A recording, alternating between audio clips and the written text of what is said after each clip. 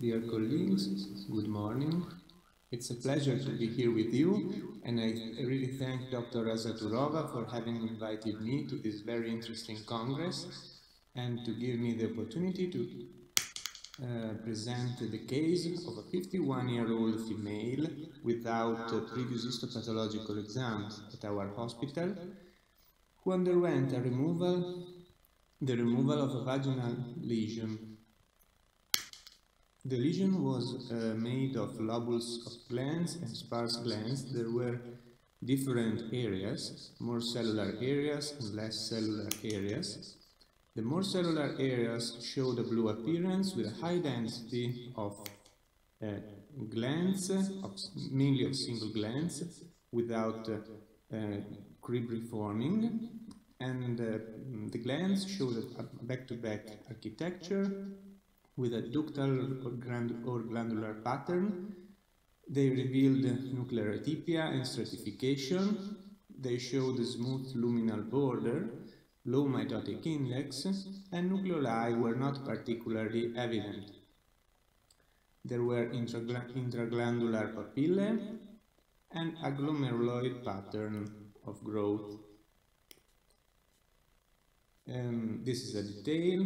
You can see the atypia, the intraglandular papilla, and in many areas of, the, uh, of this lesion, there was no significant desmoplasia. Also around uh, tubules showing a minor grade of nuclear atypia and stratification. There were sparse glands uh, in some part of the lesion, and areas with a prominent tubular pattern with intraluminal eosinophilic secretions. Here there is a detail. The tubules were lined by columnar, cuboidal or flat cells and you can appreciate the very typical eosinophilic in, uh, secretion in, inside the uh, lumen of the tubules. And the tubules also showed at least in some area, an evident nuclear atypia. In other parts, there were a stromal reaction with frankly evident desmoplasia. The CT scan was negative and we asked for additional clinical information. We became aware that the woman had undergone previous total hysterectomy and bilateral salpingo-oophorectomy five years before at another hospital for what was diagnosed as an endometrial carcinoma grade 2 without lymphovascular invasion, stage PT1A. So the woman uh, was followed up. We retrieved the slides and the tumor invaded the inner half of the myometrium and showed the uh, and showed a similar appearance and showed um, so glands mainly in mainly single glands or um, adductal pattern of growth with interductal papillae.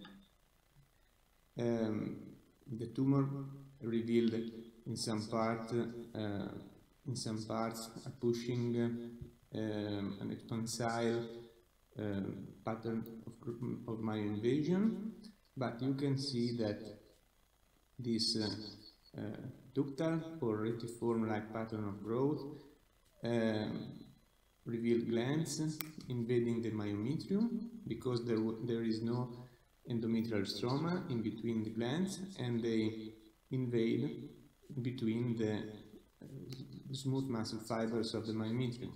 In some areas there was some kind of stromal reaction or desmoplasia, but there were also individual glands, um, isolated in individual glands invading in the myometrium. There were tubules, sometimes with, with, with eosinophilic secretions, but less evident. There were intraglandular papillae. By immunohistochemistry, the tumor glands were negative for ER and for PR. You can see the positive internal control. They were variably positive for GATA3 and for TTF1 and focally positive and for CD10 in the luminal uh, border of the gland, of the glands. The proliferation index was variable but high, sometimes very high, And the Ki67 was also increased in some more bland-looking tubules. PAX8 was positive, P16 patchy positive, P53 wild type, the neuroendocrine markers and WT1 were negative. We also performed mutation analysis and the tumor revealed a KRAS gene mutation and no mutation in these other three genes. The diagnosis was of a vaginal recurrence of a mesonephric-like adenocarcinoma of the uterine corpus. Peritoneal biopsies revealed the metastasis, while the surgical margins of the vaginal lesions were free of the tumor at a subsequent ex excision. She underwent radiation therapy, and the patient revealed no evidence of disease two years later. Mesonephric-like carcinomas are adenocarcinomas resembling mesonephric differentiation according to WHO, while mesonephric carcinoma arise from mesonephric remnants. Mesonephric-like adenocarcinomas are rare, 1% of endometrial carcinomas, very few cases reported, but limited data favor an aggressive behavior, as also stage 1 tumors frequently metastasize locally to lymph nodes or to distant sites, especially lungs, peritoneum, liver, brain, spleen, bone. So these tumors were more similar to uh, high-grade uh, tumors as they uh, show worse progression-free survival and worse overall survival. And factors associated with the development of metastases were, according to some reviews, the size, over 4 centimeters, ill-defined tumor borders, advanced stage, necrosis, high mitotic index, and lymphovascular invasion. The nuclear atypia is usually slight to moderate, but it can be severe, with uniform nuclei showing a coarse or vesicular chromatin, grooves, and nucleoli are, some, are, can be inconspicuous. Mitosis range from occasional to uh, over 10 per 10 HPF. Typically, there is no squamous or mucinous differentiation, which can be present uh, in endometrial carcinomas, and uh, rare findings include prominent stromal hyalinization, which that it can be present, uh, frequently present in clear cell carcinomas or psammomas, which can be present in serous carcinomas. Reported associations included low-grade endometrial carcinoma and atypical hyperplasia for the endometrial primaries, low-grade serous carcinomas or, or borderline tumors or endometriosis for the ovarian primaries. Mesonephric-like carcinomas show a variety of histological patterns. We saw some of them, um, but they also can present a sarcomatous differentiation. Here you have the reference of the of some series, a comedonecrosis-like pattern, a retiform pattern, a sieve-like pattern, a hobnail pattern, and a sarcomatous differentiation, which is rare, and some uh, authors talk about uh, mesonephric carcinosarcomas in these cases. PAX8 is positive, ER and PR typically negative, P16 rarely positive, P53 wild type, calretinin may be positive, CD10 luminally positive, but it can be focal. TTF1 and GATA3 are variably positive, and sometimes they show an inverse staining pattern, so TTF1 positive areas may be GATA3 negative and vice versa. They are also less expressed in solid, spindle, or sarcomatoid areas. Neuroendocrine markers are negative. Napsin and HNF1B are rarely uh, positive. These markers are also positive in, uh, in uh, clear cell carcinomas, but mesonephric-like carcinomas are racemase negative, and they are MMR proficient. Um, they um, frequently show mutations in, K in the in RAS genes and these other genes, but um, PTEN and uh, the, these other reported genes are rarely mutated. We also uh, thought about, we also consider, as we were in the vagina, uh, we also consider mesonephric carcinomas, but we won't be able to find mesonephric um, remnants or hyperplasia of lobular, uh, diffuse or ductal type. Uh, also, the more bland looking uh, glands of our case revealed mutations, while hyperplasia um, don't, don't have mutations, usually have ma uh, at maximum slight nuclear atypia and rare mitosis, while in our case there were mitosis also and atypia, at least in some part. Endometrial carcinoma can arise from endometriosis of the cervix, of the cervix or the vagina, or uh, it, it, can invade the, the cervix or the vagina from uh, the uterine body. They it usually show uh, it can it can show a variety of pattern of growth, cribriform, absent in our case, solid, non-villus papillae, etc. Uh, it can present squamous or mucinous differentiation, uh, which were absent in our case.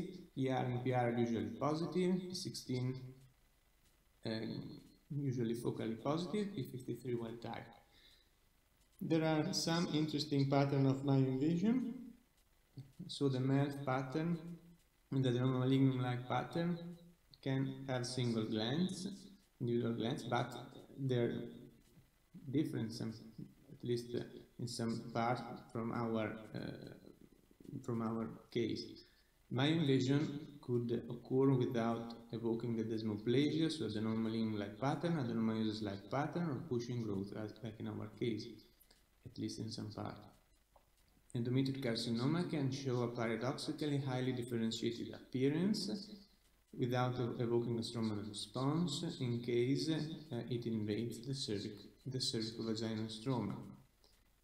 Um, so the map pattern, there are single glands, but they are elongated, fragmented, because there is an infiltration of the fibromyxoid stromal reaction with acute and chronic inflammation and it is important to recognize it because there is a high rate of lymphovascular invasion and lymph node metastasis.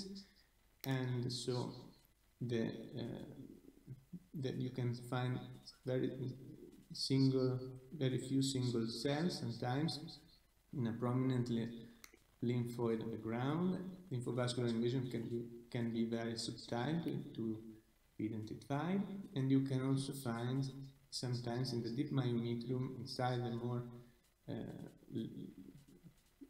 in, inside the foci with a prominent lymphoid stroma you can find uh, small residual tumor glands. So we have to avoid the potential underestimation of the depth of the invasion. adenoma malignum like um, so there are sparse well differentiated glands without desmoplasia or endometrial carcinomas can show an adenomyosis like myoinvasion. It mimics adenomyosis, but there is a lack of endometrial stroma in uh, between the, the glands, the regular borders, and sometimes there is focal desmoplasia. Serous carcinoma usually have uh, usually show pleomorphism with a 3 to 1 variation in the nuclear size, macronucleoli, high mitotic index, diffuse P16 staining, and they are also p53 mutated with variable expression of ERPI and WT1. Clear cell carcinomas usually have the typical architectural pattern, tubulocystic, papillary, and solid, and they can have a mixture of cell types, clear, hobnail, and eosinophilic. The mitotic count could be low, but there is frequently stromal hyalinization, hyaline globules, and evident nucleoli, which were absent in our case.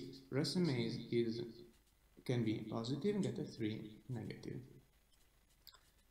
Um, neuroendocrine carcinomas usually show nuclear molding, apoptosis, brisk mitotic activi activity, necrosis, but uh, at least a few cases have been reported in association with mesonephric carcinomas, like this case, where there is a high-grade neuroendocrine carcinoma uh, growing in between the glands of the, of the mesonephric uh, component.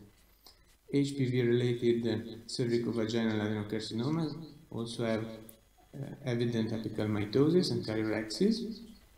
P16 is strong uh, and also in situ hybridization for HPV is positive. GATA3 is usually negative, and also CD10. We can also consider HPV independent cervicovaginal adenocarcinoma.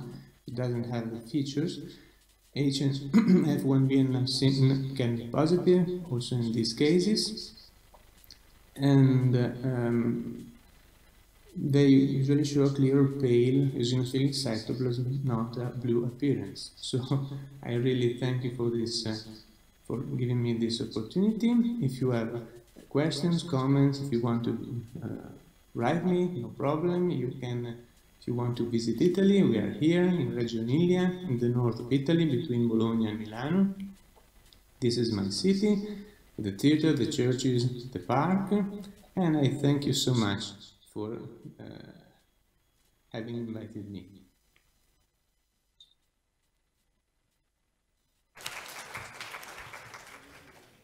У нас доктор Поличели на связи. Мы, наверное, можем его да, подключить, чтобы он поприветствовал нашу аудиторию, Алексей?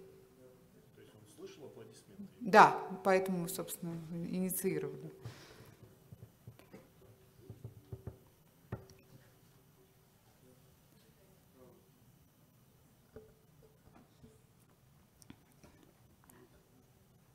Good morning. Good Andrea. morning. Good morning. Hi, everybody. It's a pleasure to be here.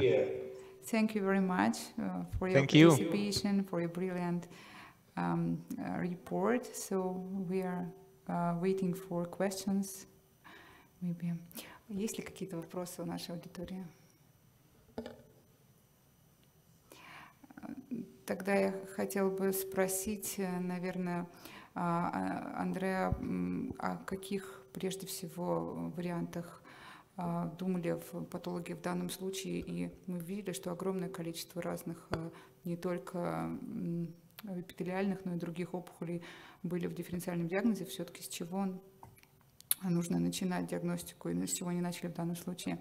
Uh, so, Andrea, I would like to ask you uh, what you recommend for, for the first line diagnostic features, morphologically and maybe immunohistochemically, for this case and in general for such tumors.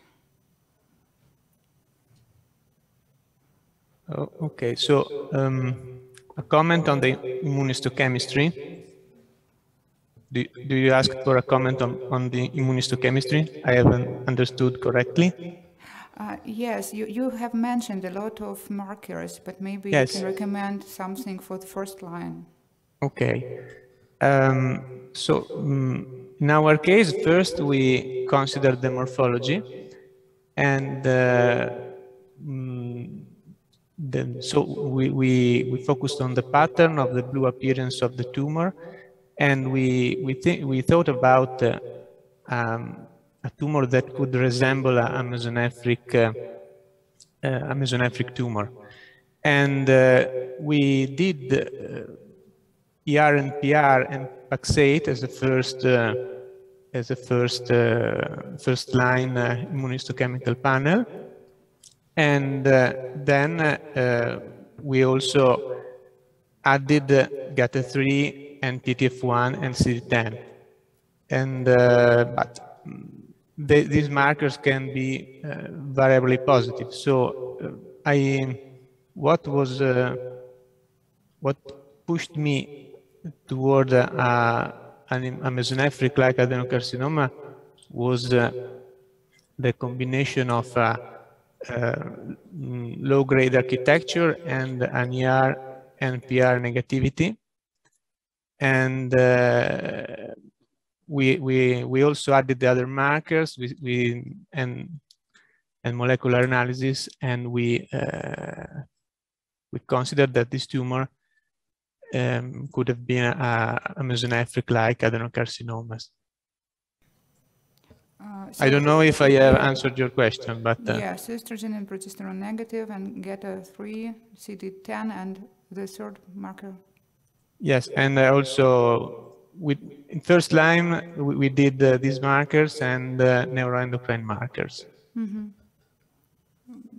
Общем-то, такая па- панель, да, эстроген, прогестерон, ГАТА-3 и CD10 при, естественно, а, соответствующей морфологии. Ну, насколько я понимаю, вот в дифференциальной диагностике этих опухолей даже не столько между мезонефрик и мезонефрик-лайк, сколько с другими, конечно, компонентами эпителиальных опухолей идет диагностика. И вот здесь хорошо, мне кажется, это было продемонстрировано. или он сразу узнал эту um, uh, Andrea, another question. Was it a uh, surprising diagnosis for you, or you, from the very beginning, you supposed that it is mesonephric-like adenocarcinoma? My first impression was that uh, it could have been a mesonephric uh, kind of tumor. Mm, first, I thought also of a primary mesonephric lesion in the of the vagina, and uh, because it was very um, it was very blue with these uh, glomeruloid features, I I I, I count on on this. Uh, this kind of glomeruloid and inter, intraglandular papillae on this on this pattern of growth, and so this was uh, a light that turned that turned on in uh, in our head, but uh, we we had to mm, confirm it with uh, immunohistochemistry and uh, with uh, molecular analysis, and uh, and also it was useful the comparison with the previous slides, which were very similar, and the tumor also and the primary tumor also showed the same immunohistochemical um, profile and uh, and so we we, we put uh, all the things together and we thought that it could be an mesonephric-like adenocarcinomas of the corpus uh, recurring in the vagina. Ну, тут, то есть как, как раз наоборот была диагностика не с другими видами аденокарцином эндометрия, а с а, мезонефральными опухолями. Ну, конечно, иммуногистохимия помогла, поэтому успех. so you, you you're successful. Thank you very much. Thank you so much. Thank you. And brilliant case. Thank you. It's a pleasure for me.